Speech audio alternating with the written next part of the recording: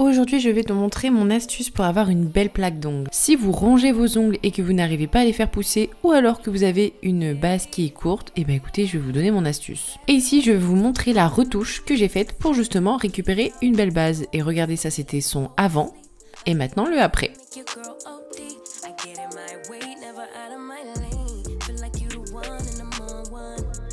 Donc ici, je vous présente les ongles de ma meilleure amie, Claire. Et euh, si vous ne savez pas, elle a une base courte. Je l'ai toujours connue avec des ongles très courts, très rongés. Enfin, très rongés non, mais courts parce qu'elle les mange. Et la preuve que euh, c'est une mangeuse d'ongles, regardez l'état de sa pose. Mon seul moyen pour essayer qu'elle ne touche pas ses ongles pendant trois semaines histoire de récupérer une belle base, c'était de faire une pose américaine. Parce qu'elle avait une base trop courte, euh, je savais que ça allait pas être beau et que j'allais galérer avec le chablon.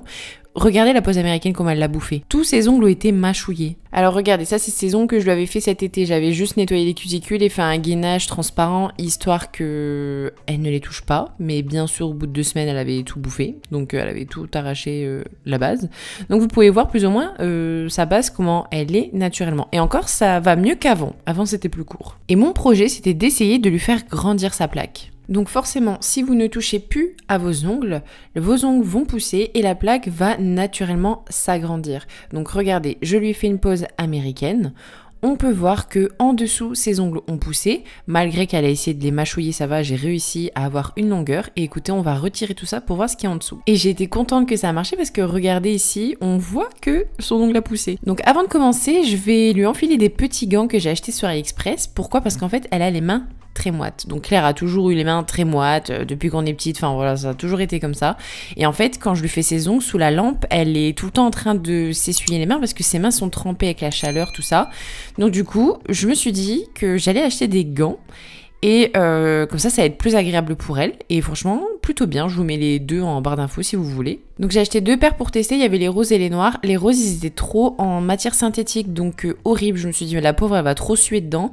Donc du coup, on a mis les noirs. Et c'est vrai que la texture a bien épongé la transpiration. Donc franchement, ceux-là, ils étaient top. Ici, on peut voir qu'elle avait arraché un ongle quand même. Et je l'ai supplié de ne pas le ronger. Et vous pouvez voir que son ongle a bien poussé quand même. Sa plaque a trop bien grandi. Je suis plutôt contente. Donc c'est parti, on va voir euh, ce qui se cache en dessous des autres capsules. Donc je vais d'abord commencer par effectuer une dépose. Donc ici j'ai pris mon embout de dépose de chez NCFRS. Euh, j'enlève d'abord la couleur en première étape parce qu'il faut pas oublier que la capsule américaine en fait c'est des capsules en plastique. Donc première étape, j'enlève ma couleur, vraiment j'enlève un max. Et ensuite je vous ai mis en accéléré mais je vais venir dégrossir un maximum euh, la capsule et aussi la base parce que j'ai collé la capsule avec de la base. Et vous voyez ici, sur le bord libre, la capsule s'enlève toute seule. Premier ongle, je vois que il a bien poussé, je suis hyper contente du résultat. Ensuite, j'attaque le deuxième, je vois aussi que l'ongle a bien poussé. En fait, j'ai fait une pause américaine histoire de lui faire une extension rapidement. Voilà, pour essayer de, commencer à faire grandir sa plaque et lui donner goût aux longs ongles. Ça peut paraître bizarre, mais au plus euh, vous laissez vos ongles pousser naturellement, au plus votre plaque va grandir. C'est très bizarre, mais c'est vrai. Et c'est ma mission pour l'année 2023 de lui faire pousser sa plaque et lui faire prendre habitude de faire ses ongles quotidiennement chez moi. Que ça, on va pouvoir euh, voilà quoi, avoir un beau changement. Dites-moi si vous voulez que je continue euh, l'évolution de ses ongles en vidéo YouTube. Comme ça, ça va la motiver à hein, faire ses ongles tout le temps parce que des fois elle a la flemme. Une fois que j'ai tout dégrossi, que j'ai tout retiré, donc j'ai laissé une fine couche hein, de, base qu'il y avait sous la capsule sur l'ongle pour éviter d'abîmer l'ongle naturel. Je passe aux cuticules. Je les ai repoussés avec un petit bâtonnet de buis et ensuite je vais passer à mon embout-flamme. Donc ici je prends un embout-flamme à grain rouge. Je vais commencer par le côté gauche. Je viens bien dégager les petites peaux qui pourraient rester. Je dépoussière entre temps avec ma petite brosse toute douce parce que j'ai remarqué que ça m'enlevait beaucoup plus de poussière qui était collée en dessous de la cutie. C'est une brosse qu'on a sortie il y a pas très longtemps et très efficace. J'alterne avec ma brosse dure que je mets sur mes deux derniers doigts et cette brosse là. Ensuite, j'inverse le sens de ma ponceuse pour vraiment avoir deux côtés parfaits. Ne faites pas que d'un sens parce qu'il y aura toujours un côté bien fait et un autre côté qui sera un petit peu négligé. Donc vraiment faites attention à ça. Inversez le sens de votre ponceuse et comme ça vous nettoyez toutes les petites peaux qui pourraient rester. Sans surprise, une fois que j'ai terminé avec l'embout flamme, je passe avec mon embout tulipe à grain jaune. J'ai pris un grain plus doux parce que juste avant j'avais pris un grain un petit peu plus robuste, c'est-à-dire un grain rouge.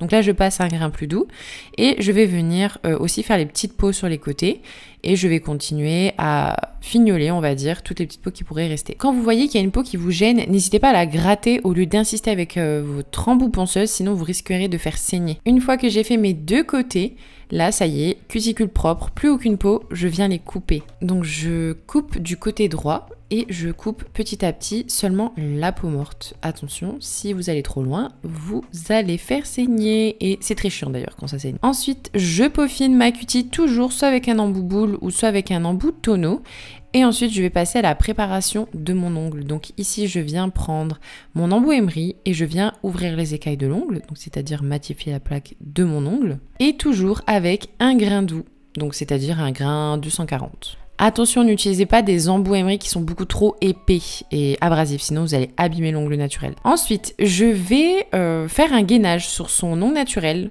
Donc euh, c'est pour ça que je viens directement faire ma forme sur tous mes ongles. Là, je vous ai montré un court extrait. Et là, il y avait une petite peau qui me gênait. Donc du coup, je l'ai coupé entre temps. Et une fois que tout est terminé, je viens appliquer mon déshydratant avec mon petit pinceau euh, aquarelle et c'est trop satisfaisant parce qu'on voit que la cuticule est propre, il n'y a plus aucune poussière, enfin c'est vraiment mon état préféré. Et bien sûr j'attends bien que tout ça sèche correctement.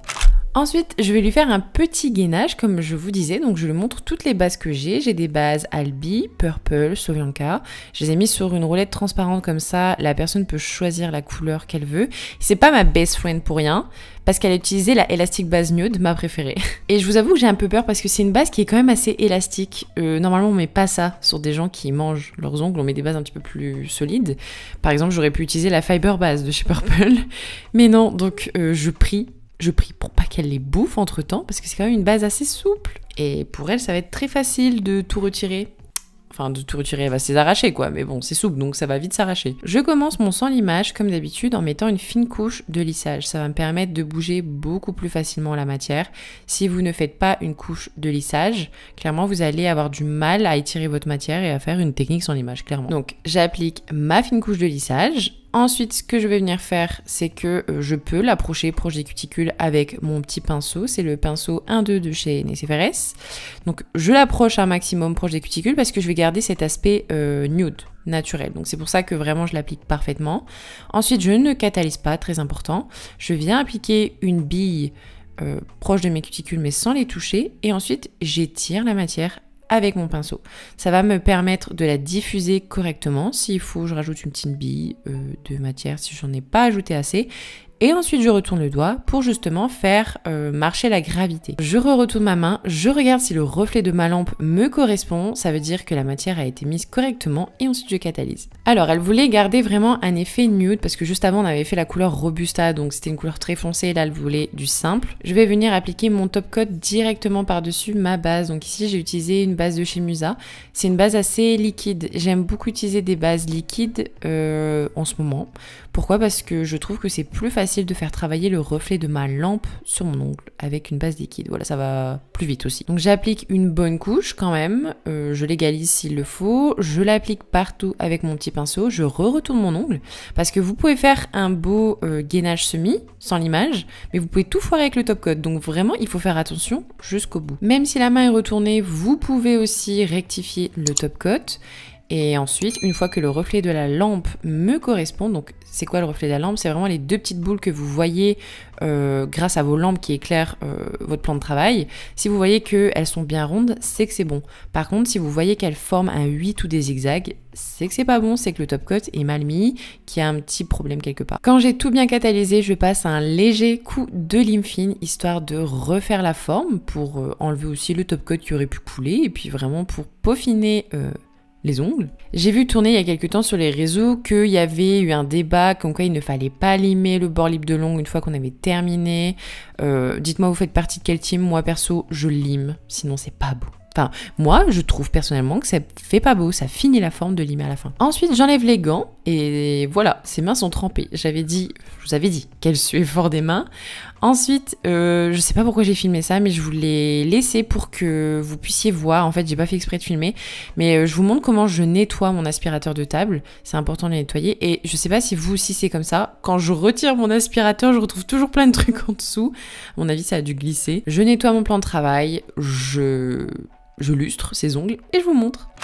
J'espère que cette vidéo vous a plu. Moi, dans ma tête, j'ai comme idée de lui solidifier les ongles euh, une prochaine fois avec de l'acrygel pour vraiment qu'il soit solide et pour qu'elle arrête de se les ronger.